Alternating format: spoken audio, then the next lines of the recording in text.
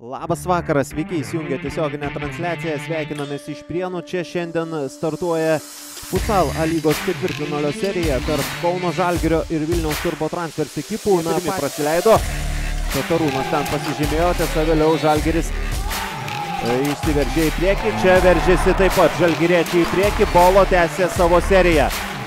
Svarbiausia be traumų į tinklą įsipainėjo Bolo koja, tačiau viskas gerai.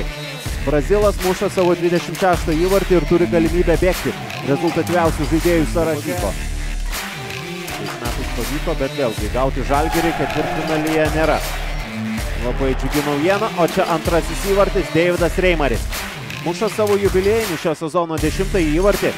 Dar kartą ši situacija, vėlgi viskas pakankamai lengvai, vienas prieš vartus, Deividas Reimaris ir stipriausios sudėties. Iš tikrųjų, dar įvertinkime Makutinovičius netikti ir aišku, čia Žalgeris yra šių rungtynių favoritas, o Lukas Endžikas laiku ir vietoje. Dar kartą ši situacija, kampinis, kurį pakelia Sendžikas ir būtent atskubėjęs prie vartų. Tiesiog Lukas bandyti pasinaudoti tuo netikėtumo faktoriu, jiems e, nėra ko prarasti.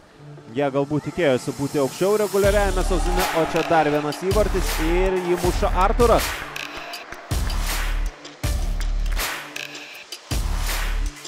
Ir keliauja kartu džiaugtis su savo komandos draugais. Bolo perdavimas ir jos sakėsi mąstys žalgyriečiai, Vaskinovičius ten e, šalia vartų linijos, Zagurskas ir Lukas Sendžikas. Kaip tiesiog apgavo savo varžovų žalgyriečiai. Atrodo viskas paprastai, tačiau kartais paprastumas, e, genialumas lypi paprastume. Būtent taip. Dar kartą ši situacija, Lukas Sendžikas Turbo transferis tiesiog e, neturi tiek pajėgumų galbūt kad e, statytis į žalgės vartų liniją. Ir Brazilas prieš Giliai tiksliai į kairį. Kampo drasko tinkliuką Arturas. Tikštelėjo nevaikiškai. Ir antras jo įvartis. Dar kartą šį situaciją. Nes e, taip, kol kas... Oi, čia kaip klysta kaip klysta turbo transfers ir Vetisijanas, na jau čia tiesiog. Turbūt patys viską puikiai matote. Dar kartą ši situacija. Ir, na, kas čia dabar. Perdavimas ligos beje Alituje.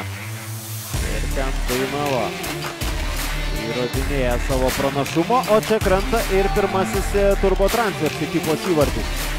Martynas Rumkis.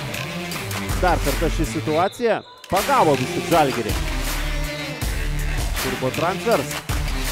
Ir Martynas Rumkis. Gal net ir liečia. Šiek tiek pritrūksta jam, o dabar jau Marcelo su Muriljo. Šis šiek tiek e, išlaukia, susistabdo kamulį ir įvartis 8-1 Muriljo. Kabinasi už Marcelo. Būtent dėkoja jam už rezultatyvų perdavimą. Dar kartą ši situacija. Muriljo susistabdė kamulį, neprarado. O varžovų pražangos, va tokį smūgį pasinčia. Į deviniukę Aivaras Meškinis gražu. Dar kartą ši situacija. Na ir be varį. Dar vienas šansas Tomas Bučma. Buvau šiek tiek apie jį apkalbėjęs, sulaukė ir jis savo momento.